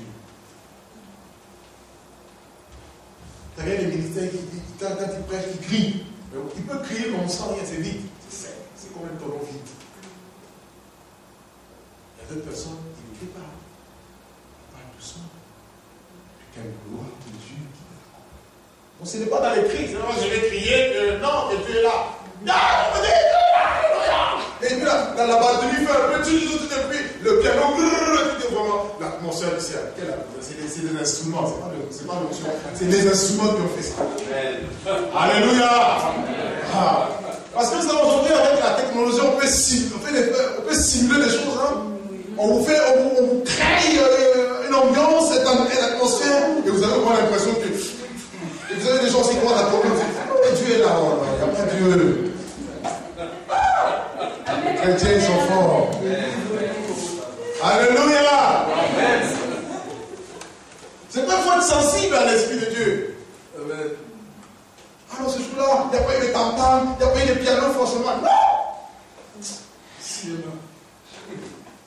Il faut qu'il y ait Dieu. C'est ça qui marque la différence. Vous savez, un jour, Élie était parti prier. Il attendait la réponse de Dieu. Vous savez que quand Dieu arrive, souvent c'est le bruit. Il y a eu le bruit de tempête, Il y a eu le, le vent, Dieu n'était pas là. Et quand il y a eu un boum, murmure, Dieu était là. Il n'est pas dans les méthodes. Bon, nous sommes des méthodistes. Gardez vos méthodes de méthodistes. Et nous, nous sommes de ceux qui cherchent l'esprit. Alléluia! Je vais répondre des méthodistes. Hein? Si vous regardez cette vidéo, ne pensez pas que j'ai quelque chose contre vous. Je dis justement que je n'ai, en fait, il ne faut pas être dans une méthode, avoir un fonctionnement ou une conduite euh, euh, bien ficelée, sclérosée, tout ça. Non! Sois souple. L'esprit dit à gauche, c'est à gauche. À droite, à droite. Il dit bon, maintenant stop. Tout le monde stop. Faites des croisades, on fait des croisades. Conférence, conférence. Retrait, retrait. École du ministère, école du ministère. Alléluia. Repos, repos. Parce que lui, s'il veut que tu te reposes, toi, tu vas travailler. Ça dit Alléluia, au lieu Alléluia, tu vas dire Oui. Alléluia. Jésus nous libère le temps, peu l'atmosphère. Que le nom du Seigneur soit béni. Romains 12, versets 3 et 6. Et puis Éphésiens, chapitre 4, le verset 4 à 7.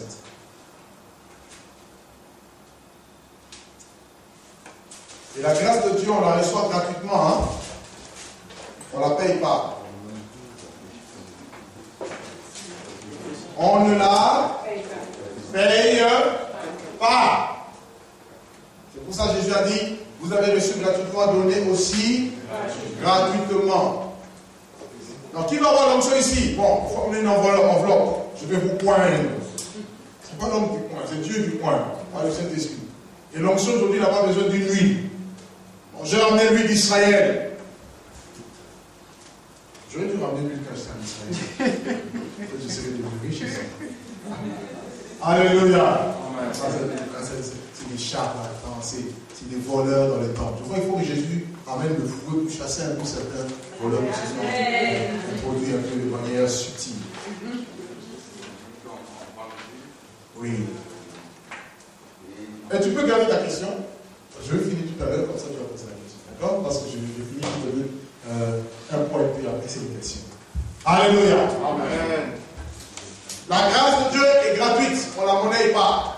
Quand Simon le magicien a vu comment l'Esprit était descendu, quand Pierre a imposé les mains aux gens, il a même l'argent dit accorde-moi ce pouvoir. Mais sauf que quand aussi je vais imposer les mains, qui est tout ce qu'il y a Tout ce qui se passe. Pierre dit que ton argent ça avec toi. Car tu as cru que le don de Dieu, ça n'a plus rien pris d'argent. Si quelqu'un vous présente la guérison, moyennant une enveloppe, vous dites tout, sais un voleur, n'y allez même pas. Ah bon, prière de délivrance. Tout le monde a mis une enveloppe. Ce n'est pas de Dieu. Parce que la grâce de Dieu ne se monnaie pas. Amen. Gloire à Dieu, il faut que ça soit clair. Parce qu'il y en a qui, se, qui, faufilent parmi les chrétiens et qui essaient de dépouiller les gens. Et ceux qui dépouillent les gens comme ça, on a vu hier, ce sont ceux qui sont établis par les hommes. Quand Dieu t'établit, tu n'as pas besoin, tu sais que tu as un maître. Tu as un patron. Si tu as besoin, tu vas voir le patron. Et si vraiment tu, tu sens que tu peux en parler au frère, tu en parles, mais tu ne mets pas la pression, tu ne, tu ne mets pas de système en place pour soutirer un gain. Tu rentres dans la doctrine de Balaam. c'est la doctrine de Balaam? La doctrine de Balaam, c'est on va utiliser la grâce pour s'enrichir, pour avoir un salaire. On veut monnayer la grâce de Dieu. Non.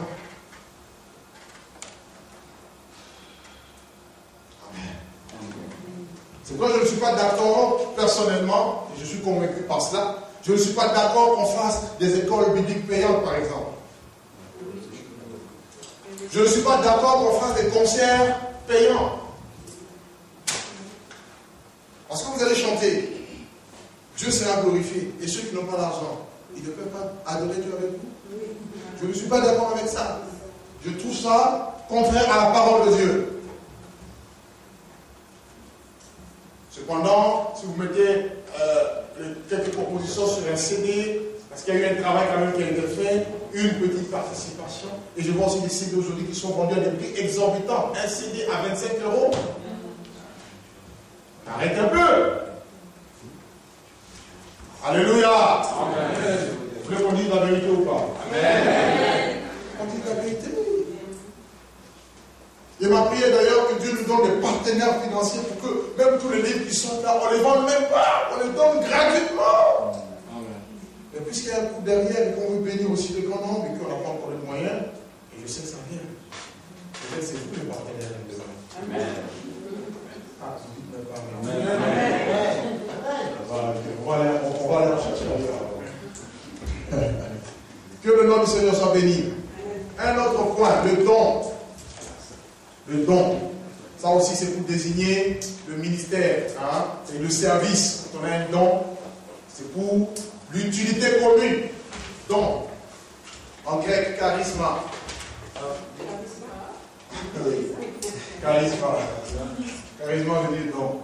Hein, don. Don veut dire plutôt charisme en grec. Ah, le logo, ça, je ne sais pas. En tout cas, charisme. Amen. Gloire à Dieu. Il y a une église charisme à Paris, là. Charisme, je ne sais pas. C'est H. I. Voilà. Charisme. Gloire à Dieu. Non, non, non, non. Il ne faut pas être écrit, hein. C'est des choses euh, que le nom du Seigneur soit béni. Au moins, on est passé à une autre étape. Gloire à Dieu. Le, ce qui est passé est passé. A lui dit, ne vous souvenez plus des, événements passés. Dieu dit, je veux faire une œuvre nouvelle qui va nous dépasser votre entendement. Si vous avez toujours les yeux fixés sur les rétroviseurs, vous allez faire un accident. Regardez toi devant vous, vous laissez un peu les rétroviseurs tranquilles. À part si vous voulez doubler une voiture, ça je vous autorise. Le corps vous autorise. Mais sinon, tu vas finir euh, très mal. Voilà, charisme. C'est quoi? Une capacité et une bénédiction de Dieu. Donc, un don, c'est une capacité et une bénédiction de Dieu. Et quand on parle de don, l'importance pour Dieu n'est pas mise sur hein, celui qui reçoit les dons. Quand Dieu te donne un don, Dieu ne va pas, euh, je dirais quoi? Le but de Dieu quand il te donne un don, ce don-là, ce n'est pas pour toi-même. C'est pour les autres. Donc l'importance quand tu reçois un don, Dieu attend que tu serves les autres. Et vous verrez que souvent il y a un mystère dans le don. Comme je vous disais hier que le ministère ou l'appel était aussi, aussi un mystère. Pourquoi? Vous allez voir par exemple que si Dieu vous a donné un don de guérison, super. Dieu pourra puissamment vous utiliser dans ce don-là. Vous verrez que c'est souvent vers l'extérieur. Vous-même, si vous êtes malade, ça marche. Si peut-être quelqu'un de votre famille proche est malade, ça ne marche pas. Vous, tu peux me douter. Hein? Ah, est-ce que c'est. C'est moi qui peut donner le don? C'est le mystère de Dieu. Et vous verrez que la plupart, pas tous, mais la plupart des gens qui ont reçu ce don, ils ont connu aussi des cas dramatiques dans leur vie. Ils étaient impuissants. Mais les mêmes, quand ils se reproduisent ailleurs, ils voient le résultat. Hein? La Bible dit dans Acte 19, 11, que Dieu faisait de miracles extraordinaires par les mains de Paul.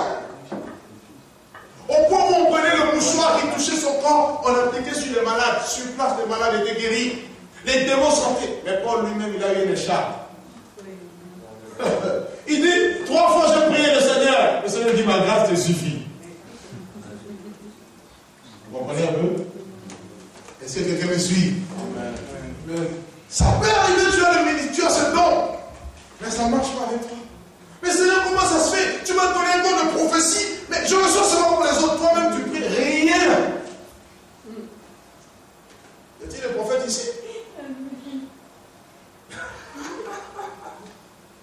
Regardez comme ça, regardez-moi bien.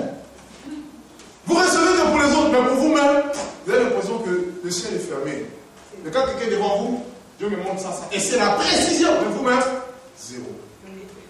Mystère de Dieu. Pourquoi? Parce que Dieu veut que tu dépendes aussi d'un autre don. Amen. Amen. Amen. Qui a entendu? Moi, je disais le ministère, ce n'est pas pour toi, mais tu ne peux pas faire un ministère singleton. Un ministère solo chez toi. Il faut la participation des autres. C'est pourquoi attention à l'autosuffisance. C'est un signe d'orgueil spirituel. L'autosuffisance est un signe d'orgueil spirituel. Si tu as compris ces choses, tu es très béni.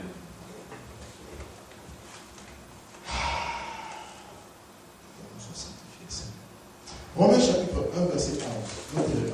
Romains 1, verset 11. Paul désire aller voir les, les Romains dans Romains 11, il dit, il dit quelque chose de très important. Il dit, car je désire vous voir pour vous communiquer quelques dons spirituels. Il voulait voir les Corinthiens, les Romains pour leur communiquer quelques dons. Romains 1, verset 1. C'est pour ça que si vous êtes leader d'église, par exemple, vous devez être sensible pour savoir quels sont les besoins dans l'esprit, comprendre. Dieu va vous faire comprendre quels sont actuellement les besoins de l'église. C'est pourquoi je peux, je peux dire, bon, maintenant on va faire l'école. Parce que Dieu me fait sentir les besoins. Ce n'est pas de moi-même. Et comme il fait sentir les besoins, il donne aussi la matière. Tout ce que je vous donne, il y a deux jours, je ne savais pas ce que j'allais dire. Ça peut vous choquer, mais c'est vrai. Mais puisqu'il connaît les besoins et que je veux répondre à ces besoins, je vais être sensible, il me donne et je vous le communique. Et j'essaie d'être le plus fidèle possible.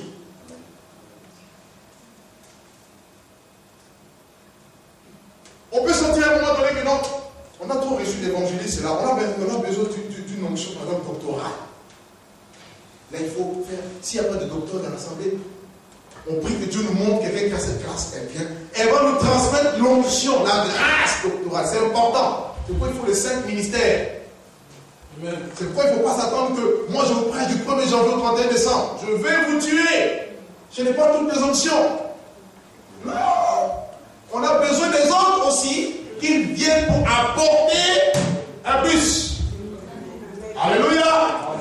Il faut une onction doctorale, il faut une onction pastorale, il faut une onction évangélique, il faut une onction prophétique et il faut une onction apostolique. Il faut aussi des dons, des gens qui ont des dons de guérison, des gens qui ont des dons de prophétie. C'est important. Parce qu'à un moment donné, je peux ne pas voir quelque chose. Mais si un autre ministère de l'extérieur vient, il peut voir. C'est comme ça que ça marche. C'est pourquoi ne soyez jamais dans l'autosuffisance. Comme si Dieu ne passe que par vous. Là, vous êtes déjà parti à côté. Soyez sensibles aussi à ce que les autres reçoivent. Et examinez. La capacité d'un leader, c'est que, avec toutes les révélations, il examine avec la parole de Dieu et il observe le fruit. Il ne se limite pas seulement aux révélations, parce que si vous, si vous aimez trop les révélations, vous allez en avoir. Hein. Et vous allez être conduit par les révélations. Bon, un homme de Dieu, Dieu m'a dit, bon, maintenant il faut que l'église jeune. Donc, non, vous avec l'église. Hein. Vous ne connaissez pas l'église. L'église. Ah. Un homme de Dieu disait, quand ce moment disait, on se lève pas un matin pour dire je fais église. tu vas mourir avant le temps. Tu vas avoir la calvitie et les cheveux blancs avant le temps. C'est trop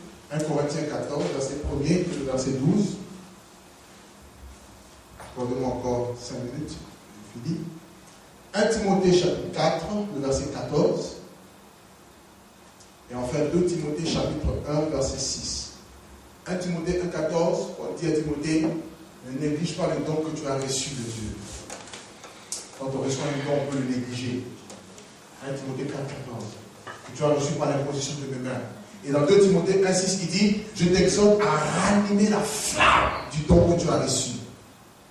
Quand tu as reçu un don, il faut apprendre à ranimer. Quand tu sens que ton don commence à, perdre un peu son élan, entre dans une vie de jeûne de prière. Cherche Dieu, rapproche-toi de Dieu. Et tu vas voir qu'une flamme va venir te redynamiser et tu vas continuer. Parce que nous sommes comme des flammes de feu. Les dons en nous, c'est comme du feu. Et moi, je prie, il faut que cette église soit une église de feu. Que tout le monde soit une église, hein, des chrétiens de feu, des femmes et des hommes de feu, des enfants de feu, des vieux de feu. Même les bébés, le feu. Au nom de Jésus. Il y a des bébés qui vont naître là. On va avoir trois, trois naissances bientôt. Là. Ça sera des bébés moins onctionnés. S'il n'y a plus de prophète, là vous allez voir le bébé commencer à prophétiser. Amen. Amen. Alléluia. Dieu tire la louange dans la bouche des nourrissons. Gloire Dieu. Et il faut aspirer à ça. Vous savez, le peuple Paul, Paul disait quoi? Dans 1 Corinthiens 14, il disait aspirer aux dons spirituels. L'Église doit aspirer à avoir les dons et à les avoir en abondance. Ne sommes pas des chrétiens timides, des chrétiens tièdes comme l'Église de l'Odyssée ou les chrétiens froids. Il faut la chaleur. Et on peut ressentir. Quand vous êtes, quand vous êtes réveillé, vous avez le feu vous pouvez savoir si quelqu'un est fou ou pas. Parce que bon, le spirituel entraîne toujours le, physique.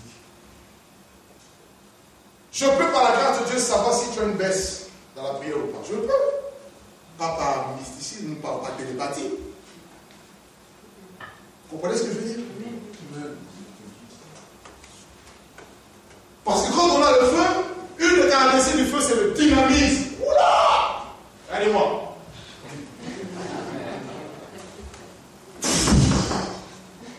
Quelqu'un m'a dit, mais, ah, il dit, tu es calme, mais j'ai vu ta vidéo, mais c'est pas le même place là.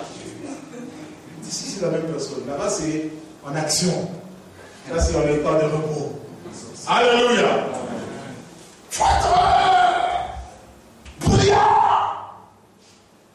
Quand je prie dans les attention, c'est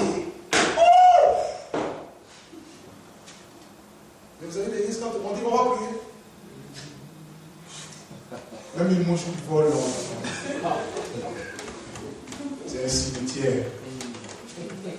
Pourquoi cherchez-vous parmi les morts celui qui est vivant? Là, en fait, il n'est pas vivant. Il n'est pas là. Pourquoi tout le monde est mort Non, frère. Alléluia. que mon Dieu vous bénisse. C'est pourquoi on a mis en place la prière matinale. Pour ceux qui ne savaient pas, on a mis en place la prière matinale de 5h à 6h chaque jour. Je, me rends compte même moi-même la nuit matin, pour me lever, c'est. Moi j'aime prier la nuit, mais là on a mis à 5h, tout le monde à 5h. Je me lève à 5h, Quand tu veux bailler à Seigneur, le sommeil, tu te chasse au nom de Jésus, tu te lèves. tu, vois, tu mets l'eau sur le, visage, tu dis aujourd'hui je ne dors pas. Tu peux fatiguer, tu marches.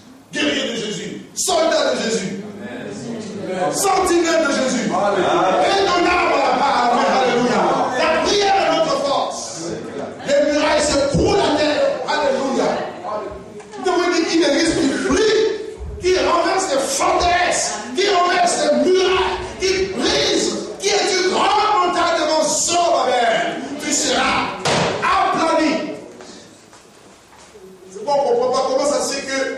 même pas un an les choses avancent vite comme ça. Mais ce n'est pas parce que nous sommes bons, c'est parce que nous prions et ce Dieu-là est glorifié. Nous cherchons sa gloire.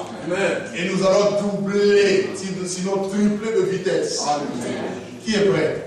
Qui sont ceux qui sont prêts? Et prêtes Attendez, rendez-vous dans la nouvelle salle. Là, ça sera retraite sur retraite. Alléluia. Je vois, je vois déjà des jeunes ici. Personne ne les dit à l'exil ah, voilà les fourmis. Les fourmis n'ont pas besoin de chef. Les fourmis n'ont pas besoin de leader. Eux-mêmes, ils prennent des initiatives. Prenez des initiatives. Allez évangéliser dehors. Prêchez l'évangile. Priez pour les âmes. Et vous verrez ce Dieu-là. Quand vous priez, le ciel s'ouvre. Voilà le secret de la prière. Une seule chose ouvre le ciel. La prière de la foi. Amen. Amen. Amen. Amen. Gloire à Dieu. Je vais finir là. Et demain, je parlerai rapidement de la fonction. Et nous allons rentrer dans le deuxième grand point que je veux prendre toute la soirée pour développer sur les dons et les ministères dans l'Église du Nouveau Testament. Les dons et les ministères dans l'Église du Nouveau Testament. Père Saint, je veux te rendre grâce, honneur, louange, puissance pour tout ce que tu es, pour tout ce que tu fais. Merci parce que tu as rendu ce temps disponible aussi. Et merci encore pour la révélation de ta parole, qu'elle porte des fruits. Et toutes les personnes qui regarderont cette vidéo soient aussi bien impactées que ceux qui sont présents, mon Dieu. Qu'ils soient éclairés, enseignés, instruits. Et qu'ils puissent se lever pour répondre à ton appel dans ce dernier temps. Il est écrit qui engage et qui marche là pour nous. Et nous voulons répondre à cet appel. Le voici. Envoie-moi. Au nom de Jésus. Amen. Tout le monde acclame le nom du Thank you.